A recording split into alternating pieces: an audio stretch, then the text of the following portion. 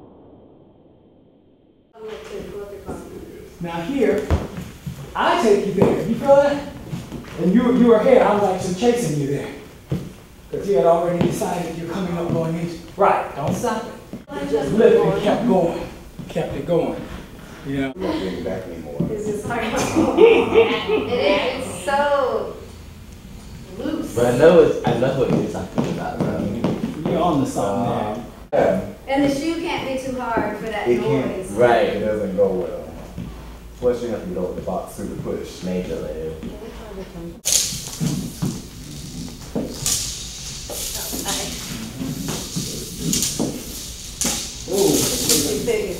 So higher. See, for you. Yeah, but see, the thing is, what happens if you do it higher, you, you tend to hit, they end up hit each other. Once they hit. Uh, The last two was here.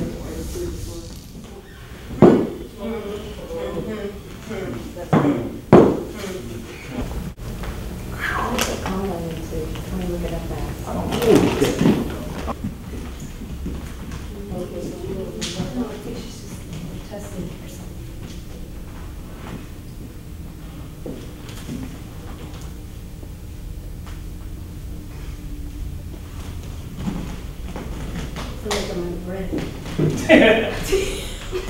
shuts your breath out. Yes, ma'am. Okay, we're ready. Places. Music, yay. Okay, hi, my name is Nena Gilreath, and you're watching Showtime Atlanta. And this is the company, Ballethnic Dance Company. We are preparing for Urban Nutcracker. And Urban Nutcracker will show at the Ferst Center November 16th through the 20th. And you can get your tickets at the Ferst Center, or if you know a parent or a child that dances with Ballethnic, you can get tickets from one of those cast members.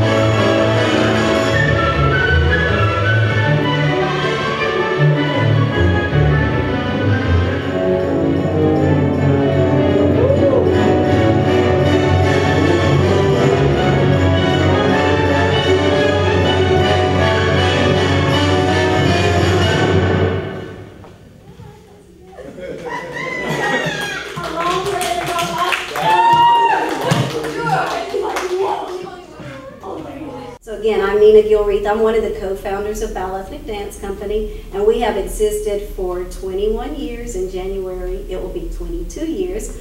I'm married to Waverly Lucas. This is my husband, and we started Ballethnic together. We're happy with Urban Nutcracker because we kick off the Nutcracker season. So we perform Urban Nutcracker the weekend before Thanksgiving, always and we set the tone for the other nutcrackers. Our nutcracker is different because it happens on Auburn Avenue. It's one of the only nutcrackers here in Atlanta that the setting is a local setting. And we felt that was important because people could relate to something in their own community. We also have a community favorite as one of the advertisements, and that's the Coca-Cola Six, which is a bubbly little dance.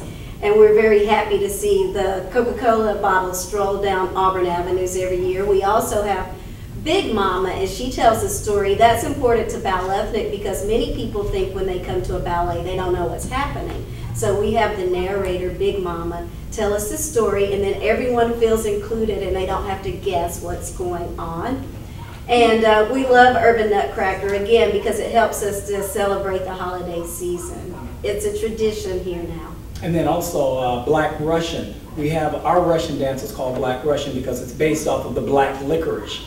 And also what we've done is we've taken the original Tchaikovsky score and we've added, we made it a percussive score. So it's in the uh, same time signature as Tchaikovsky score, but it's all percussive and it uh, was redone by uh, L. Gerard Reed. Hmm. And then um, the other fun thing about Urban Nutcracker, we celebrate diversity. And um, you won't see, like in typical nutcrackers, there's a lot of the coloring of pink, but ours we celebrate chocolate. So with the Grand Pas de Deux or the big uh, dance of two, we have the chocolatier and the brown sugar because the brown sugar is the sweetest sugar of all. So it's a very, very lively second act. And we're going to have Carla tell us a little bit about her role as one of the dolls, the magical dolls. I'm Sadie. I'm in the Urban Nutcracker, and um, this is my sailor. And we're mechanical dolls that Professor Isaac brings to life, and um, we just do a short dance um, together to just um, as a present to Sarah, and then you know we freeze, and then the kids come and play with us, and then that's our scene. and I'm actually Father Johnson in the ballet. I'm standing in today for uh, Chad Jones. And then Calvin's going to tell us about his role as the other doll. Yes, I am the reggae rag doll, and I have the beautiful task of jumping through this lovely hoop here, which causes so much drama and stress. and I also have to catch it as well. But it's a really fun part, and the kids and the audience always love the reggae rag doll too. And Layla Howard is his partner. So thank you, Mr. Calvin. Also, we have Savory and Brittany. The battle scene happens after the party scene, and the battle scene is really fun because it's this nightmare that Sarah has. She falls asleep under the Christmas tree, and her beloved Nutcracker comes to life, and then the rats jump from underneath the tree, and they become life-size rats. So they're going to tell you a little bit about the battle scene. Well, I am the chocolate chocolatier, chocolate nutcracker. um, I come to life in Sarah's dream to lead the soldiers to battle with the rats so that it, so that they don't destroy Sarah, Andy, and you know, there's other characters in there. We battle um, the Queen Rat, and yes, we do win, even though I get banged up pretty badly. We do win. And this is my lovely helmet. this is this is what protects my pretty face in the battle against the rat queen. Yes. This is the rat queen, affectionately known as Shira. um, it is a beast on stage, but it also, it for me, the rat queen is one of the, I think, one of the best roles in the production because it's one of those roles where you actually get to step out of being the ballet dancer and being a she warrior on stage and just beat somebody up. so like whatever you go through during your day, this is the one time you can take it out your aggression on that lovely nutcracker right there. um, it's, and I also lead the army of the great rats. And we try to beat up the Nutcracker, but of course, magic doesn't work the right way, so they end up beating us. But you know, it's a really great role, and it's a really fun part. A lot of kids are scared of the rats, so you know, FYI, if there's any children watching this, there is a scary part. If you like horror movies, we're called the rats. One of the things is, uh, Nut, our Nutcracker is based off of uh, Marcus Garvey and his image and the Garveyite soldiers. Okay, so that's, Urban Nutcracker is one of the ballets or productions that we do. We also have other productions that we perform, and we as a professional company, not only do we perform in Atlanta and East Point and the metropolitan region, we travel on the road and we perform what we call repertoire shows. Um, we have done a show called The Best of Ballethnic, in which we get to be real people and we perform ballets about relationships. So many of those ballets are dramas about uh, three people fighting in a relationship, a man in love with a woman, two men dancing and showing their strength. So you can see one of those relationship ballets also. Check out our website, ballethnic.org, if you want to know about our future performances. Where is love? Where is the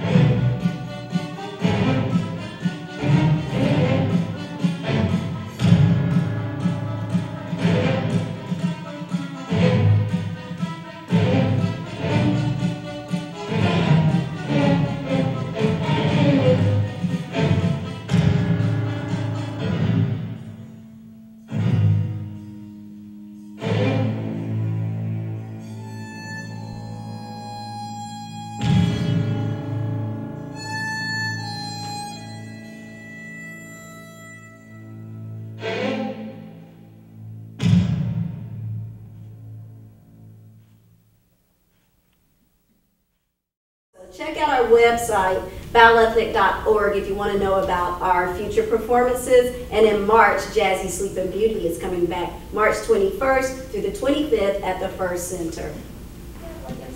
Don't be scared. He is coming. Go across to KC. There was so much. We have, He's my sailor. we have silliness all day long. All day. All day. Bye.